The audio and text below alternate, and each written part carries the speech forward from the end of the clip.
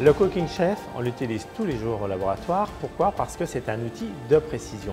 Il pèse au gramme près, il prend les températures au degré près et tout le monde sait que dans notre métier de chocolatier et de pâtissier, on a besoin d'être très précis si on veut réaliser une recette et encore plus dans le métier du chocolat.